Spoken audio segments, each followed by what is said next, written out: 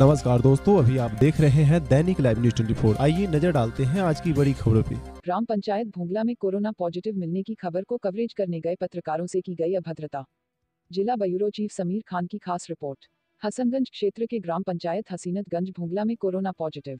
मिलने से दहशत का माहौल बन गया। ग्रामीणों में दहशत देखते हुए ग्राम प्रधान विपिन दीवान द्वारा कोरोना पॉजिटिव युवक विकास सिंह, पुत्र राधेश्याम सिंह के घर के पास बैरिगेटिंग लगाया गया और कल से लगातार एंबुलेंस।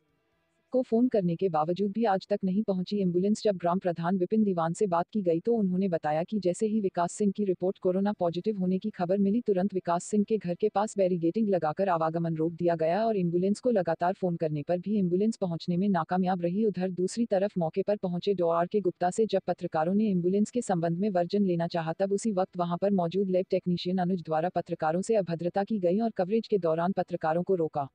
लगातार पत्रकारों को यह धमकाते रहे कि हाई कोर्ट में मुकदमा दायर कर दूँगा और तुम पत्रकार लोग मेरा कुछ नहीं कर सकते हो, जहाँ एक तरफ़ योगी सरकार द्वारा लगातार पत्रकारों से अभद्रता को लेकर काफ़ी सतर्क नज़र आ रही है, वहीं दूसरी ओर लैब टेक्नीशियन अनुज द्वारा लगातार पत्रकारों को धमकाने का कार्य किया जा रहा है। अब देखना है कि प्रशासन लैब टेक्नीशियन के ऊपर किस प्रकार की कार्यवाही करता।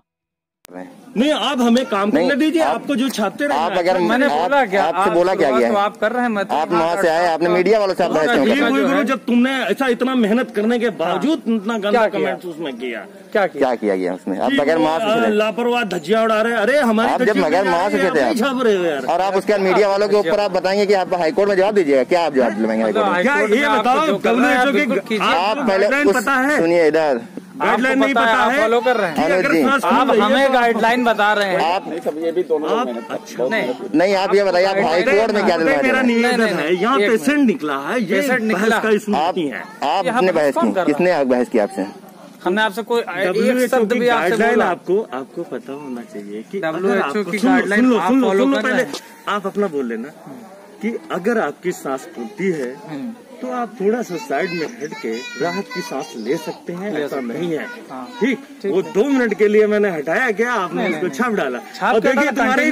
तुम्हारे वीडियो में मैं ऐसे कर रहा हूँ कोर्ट में जवाब दीजिएगा आप क्या करेंगे? आप तो धमकी देंगे में आया। पत्रकारों को?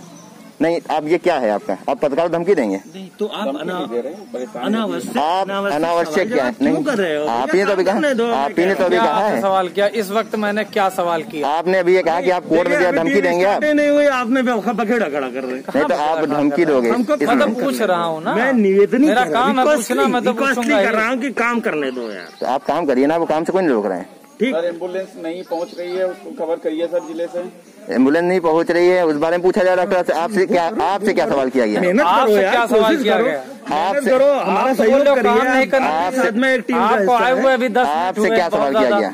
दस मिनट हुए छुट्टी पे था महाराज अचानक कॉल से अचानक आप दस मिनट हुए आए और टिफ़िन पैक है मैंने चाय तक आधे घंटे। तो आप बोले मैं मेन मकसद ये बताइए आपने ये क्या कहा है की आप धमकी दे रहे हैं की आप हाईकोर्ट में जा दीजिए? किस बात यार तुम अपना काम करो जाके ठीक है? फालतू की बहुत हो गया फालतू की बहुत आप कुछ नहीं कर पाएँगे जाइए। कुछ नहीं कर पाएँगे। हाँ जाओ।